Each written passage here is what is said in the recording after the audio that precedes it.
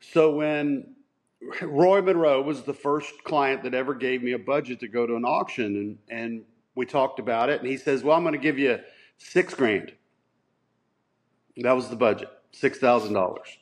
And so it was July or August, and I said, Well, you know, there's no sense in going to Keeneland July, and there's no sense in going to Fasig July, and there's no sense in going to Keeneland September. We're going to wait for Fasig October and we're going to pluck something out of there. And I think, you know, maybe I can get something for six grand. I don't know. So, so the process of the sale is what I call a squeeze them.